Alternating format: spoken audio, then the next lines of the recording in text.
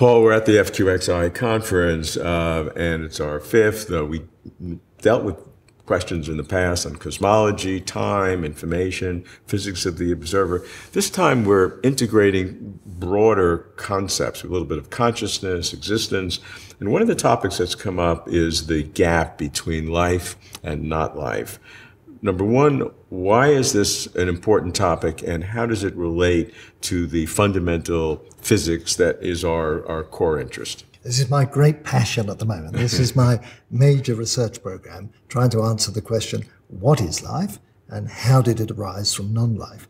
Uh, and there is this um, sort of glib statement you'll hear a lot of even distinguished scientists making that, uh, oh, um, uh, the, on the early Earth there were complex chemicals mm-hmm. and that these sort of organize themselves into a living Lightning thing and that given Earth-like conditions elsewhere, the same sort of thing would happen. No big deal. Uh, but people fret over whether, uh, once life gets going on a planet, whether intelligence would eventually evolve. And right. they think that that could be uh, a major problem going from simple to complex uh, intelligence. But getting to the simple uh, is very is, is, the, is the, very simple. Right. I think this easy. is exactly wrong. Yeah. Uh, and the reason is that we um, we understand the mechanism whereby uh, single cells can uh, eventually achieve something like the complexity of a human being, and it's called Darwinian evolution. Mm-hmm. Now, if you were to uh, ask a biologist, uh, given uh, bacteria on some other planet, how likely is it that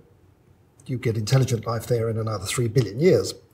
We don't know how to do the, the calculation, but at least we know the mechanism that did it. When it comes to the transition from non life to life, we don't know what that mechanism was. Darwin famously said, uh, it is mere rubbish at this time thinking about the origin of life. One might as well think about the origin of matter. well, uh, the truth is that we still do not know the physical process, the pathway whereby chemicals turned into life. Uh, obviously, there was such a pathway, but we don't know what it was. If you don't know the mechanism, you can't estimate the odds. It's impossible for us to say uh, just how likely it was that a, a, mishmash of chemicals turned into something as complex as a cell. It, it's a huge gulf. So conventional wisdom says that if you mix the chemicals together, you throw lightning bolts at it, or that you, you will eventually pretty quickly be able to have simple life, but the Darwinian evolution to get to intelligent life, because there are so many branches and so much uncertainty and so, so many accidents, that that, even in the history of the universe, may be impossible to do it more than once. So the, that's where the, the big gap is. But between non-life and the chemical soup and life, it's fairly simple. No, see, I think that the big gap is that first step. So so, so, so if the big gap is the first step, uh, at least define what, what the boundaries are. How would you define the non-life? Maybe that's easy. And then how would you define that first step of life that can then jump into the Darwinian evolution flow? Right. Now, this uh, subject's been dominated by chemists. I've got nothing against chemists. Uh, who have, over the last hundred years, tried to cook up life in the lab, and they see it as a problem of getting the right stuff, get the right sort of molecules, uh, sufficiently complex, uh, and the experiments in which you try to make the first steps down the road to life are fairly easy, and so you can make the building blocks of life, things like amino acids, uh, very easily indeed.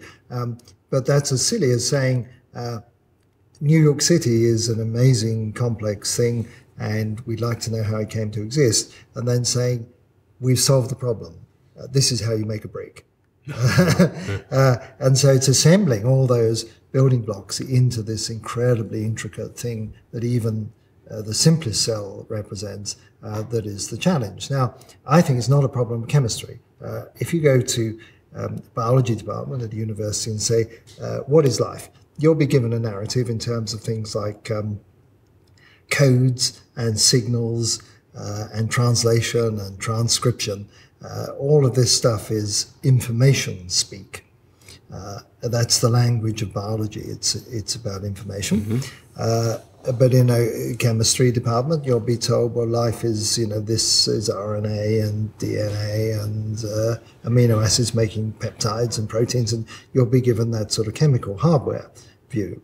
Now, the chemistry is the substrate in which life, as we know, is instantiated. But what makes life seemingly magical, what makes it so different from just any old complexity, non-living complexity, is the way it organizes and manages and stores information. So I focus in on that information storage and management aspect. And for me, the true problem about life's origin is the uh, we might call that the software of life. It's the coming into existence of that software, not the, the hardware stuff, the, uh, because um, there'll be some chemistry there somewhere that can do it. But it, how did that first step about organizing the, the information in this particular way arise.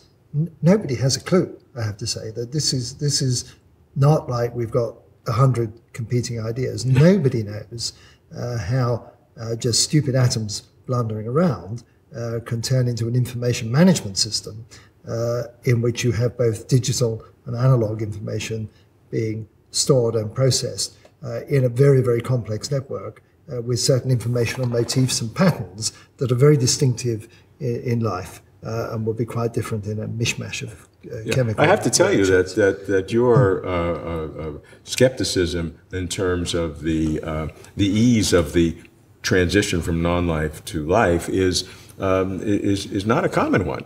Uh, a lot of uh, scientists uh, think that that's, that's, a, that's a problem that can be solved, and we know how to, we haven't solved it yet, but nobody has really, that I, I know, who has put it so, so uh, dramatically that that is a real fundamental gap. Right, th- those scientists have no justification whatever for making the claim that it's an easy transition. Uh, now, if you believe that there is some sort of deep life principle interwoven into the laws of nature that somehow, against the raw odds, uh, encourages matter to fast track towards life, uh, so be it. Then I imagine we could get to this uh, amazing information processing state of affairs fairly quickly. But if there is such a principle, we haven't found it yet. And uh, to, to simply say it's going to happen without invoking a life principle, uh, I think is just wishful thinking. What, what is that first minimum step that you need to have? What is the absolute minimum that you need to go from uh, in, in that the way you described it is an information management system uh, that you have chemicals, inert chemicals in the environment. What is the first step that becomes self-perpetuating? Uh, well, there, there are two things. One, the self-perpetuating has to do with the, the replication uh, and the replication. Or, or it takes off from And there. then- What, what, what do you have to do to kick, it kick it Well, off? you, you know, von Neumann had uh, some uh, prescient ideas along these lines. So he was talking about self-reproducing machines, uh, and uh, it's easy to imagine something like a 3D printer. You can you can make a copy of something, and, and then the copy can make a copy. But his great insight was to see uh, that it's it's not sufficient that you just make a, a replica of something. You've got to make a replica of instructions to make the replica and insert that into the system. Uh, and life does this uh, in, a, in a very obvious way. So DNA has two quite different functions. Um, uh, two things can happen to DNA. One is that it can have its uh, base pairs read out uh, by a molecular system, reads it out. These are the instructions for making a, protein. So that's operating in one particular way as information storage. The other thing that can happen to DNA is it can be unzipped and replicated as a, just a dumb object. It doesn't, it's not doing anything. It's not instructing, not encoding, not uh, driving anything. It's just two sit, sitting there uh, and being replicated. And the cell has to know uh, what it's going to do. How is it going to do do this to the DNA? When has the time come uh, to replicate it? Uh, and so there is a sort of epigenetic, uh, nobody knows really how it works, management system that the cell program, in some sense, uh, has to has to make that judgment. And von Neumann saw that way back in the 1940s, 1950s, that, you,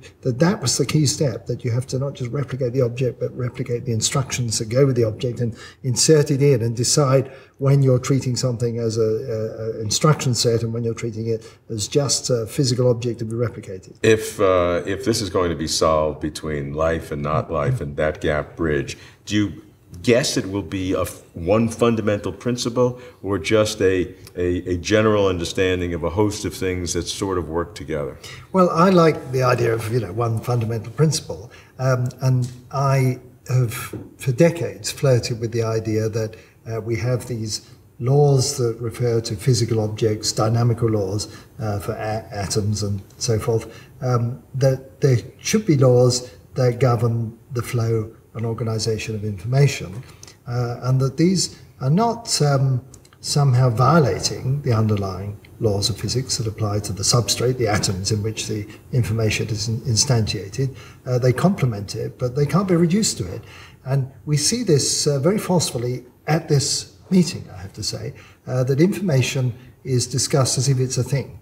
Uh, now, um, a, a good analogy is with energy. So, energy is an abstract quantity, and yet it can be conserved, passed on, changed from one form to another, but, but it's still the same amount of energy. So, information is a bit like that. It can, uh, can be um, passed on from one system to another and conserved in some way. Uh, it's got a life of its own. And I think there must be laws of information management and organization which we have yet to write down. And, and that, at that point, we will be getting close to answering this.